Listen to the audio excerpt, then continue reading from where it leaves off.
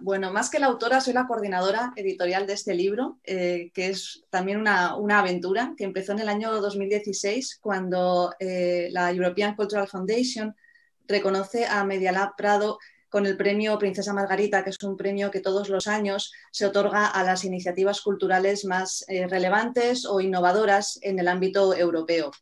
Y Media Lab decidió con este premio hacer dos cosas. Por un lado, un documental y por otro, este libro que estamos a punto de meter en imprenta, así que lo, que os voy a, enseñar son em, las maquetas, eh, realmente las tripas de la, de la publicación. Una cosa que teníamos muy clara es que queríamos que el libro girara en torno a una idea, que es la de la oportunidad de los laboratorios ciudadanos, que como bien decía Antonella, son un tipo particular de institución pública en la que las personas se juntan para crear en común. Son, por tanto, lugares de encuentro, de colaboración, de experimentación y de creación colectiva en los que cualquiera, y esto es muy importante, cualquiera puede formar parte. Pero también teníamos claro que no queríamos quedarnos en el plano de la idea, queríamos bajar al, al, terreno, a los hechos, a las prácticas y contar qué se hace y cómo se hace concretamente un laboratorio ciudadano inspiradas por esta idea que se oye mucho en, Media Lab, que, oyes a las personas usuarias que te dicen, había oído hablar de Media Lab Prado, pero no fue hasta que no participé en un grupo de trabajo o en un proyecto que entendí realmente cuál era su valor y cómo funcionaba. Así que hemos decidido dividir el libro en tres secciones. La primera llamamos, que llamamos proyectos y comunidades. Hemos hecho una selección de nueve proyectos eh, que nos parecen suficientemente representativos de la diversidad que se da en Medialab Prado. Podían haber sido otros nueve, esperamos que haya más publicaciones y esta selección se amplíe. Em, y en este caso invitamos a cinco personas a, desde el periodismo cultural o, incluso la, etnografía, pero en, cualquier caso desde una mirada externa, a escribir una suerte de crónicas de cada uno de estos proyectos. Estas personas son Irene Gerrubio, Silviana Anclares, Carolina León, Elena Cabrera y Jorge Martín. Muy rápidamente os presento estos nueve proyectos. Autofabricantes, que trabaja sobre prótesis de código abierto. Soy de temporada, que es una visualización de datos que nos ayuda a consumir frutas y verduras de temporada. AVFLOS, sobre herramientas libres para la producción audiovisual.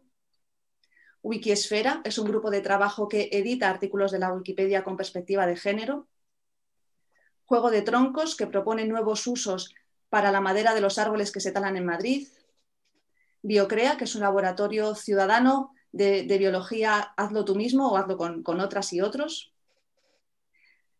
Madrid for y Gen Z, que es una guía de servicios gratuitos para personas con pocos recursos en la ciudad de Madrid y estos son dos proyectos en uno. Gen Z, por otro lado, es una baraja de familias diversas creada por un grupo de adolescentes de la llamada Generación Z que estaban trabajando con Madrid for Esto es clásico de lo que ocurre en, en Medialab Prado, ¿no? este tipo de, trayectorias.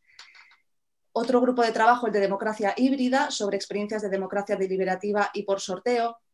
Y por último, Puente de Vallecas Experimenta, que es un, que es un caso particular de, laboratorio ciudadano temporal dentro del, del programa Experimenta Distrito. Pero esto no nos parecía suficiente, por esto que os comentaba antes, de que, muchas veces lo que ocurre en Media Lab no tiene que ver necesariamente con participar de una manera estable en un, proyecto o en un grupo de trabajo, sino con trayectorias de vida, como, se muestran en estos dibujos de David Cárdenas Lorenzo. Eh, personas que llegan un día a Media Lab, participan en una actividad, no vuelven, vuelven después con otra persona y, bueno, todo esto dibuja una diversidad de nuevo de, experiencias eh, y que también nos muestra toda la diversidad de, temas y, perspectivas que hay en, en. Esta segunda sección, experiencias y personas, incluye eh, relatos cortos, crónicas muy cortas personales en primera persona de 11 eh, personas que de alguna manera han tenido trayectorias diferentes hablamos del laboratorio de eh, textil en abierto, hablamos de la arquitectura, de los comunes urbanos, de la cultura del software libre y de la cultura hacker, eh, fundamentales en Media Lab, también de la relación de arte y tecnología, de Media Lab como, un tipo particular de, institución cultural, otro caso vinculado con Experimenta Distrito, en este caso en Villaverde, con un taller de música, el programa Coderdoyo de programación para niñas y niños, la eh, práctica del, cacharreo, también característica de, Media Lab, o una experiencia de traslado eh, de, las, maneras de funcionar del laboratorio ciudadano al ámbito educativo. Todo esto contado a partir de personas que han vivido esas, esas experiencias. Pero tampoco nos parecía suficiente.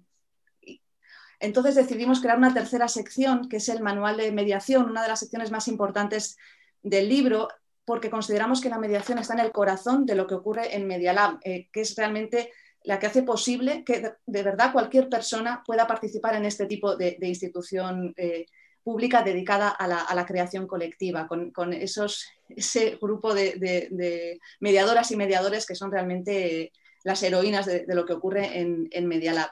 Este manual no es una serie de recetas cerradas, sino que está basado en las experiencias y en los aprendizajes del propio Media Lab, por lo tanto es una serie de, consejos y de, ideas y de reflexiones disponibles para que puedan ser adaptadas también a otros, a otros contextos, a otras organizaciones. ¿Qué queremos con este libro? Por supuesto queremos hacer balance, queremos compartir toda esta experiencia, queremos legitimar y poner en valor este tipo de prácticas y queremos construir un relato o empezar a construir un relato en torno a ellas. En enero de 2021 estará ya disponible este libro que se va a titular Laboratorios Ciudadanos, Experiencias en Media Lab Prado y que cuenta con el diseño de Con Estudio y las ilustraciones de David Cárdenas Lorenzo. Y esperamos que esté ahí fuera muy, muy pronto y que, y que lo podáis disfrutar. Muchas gracias.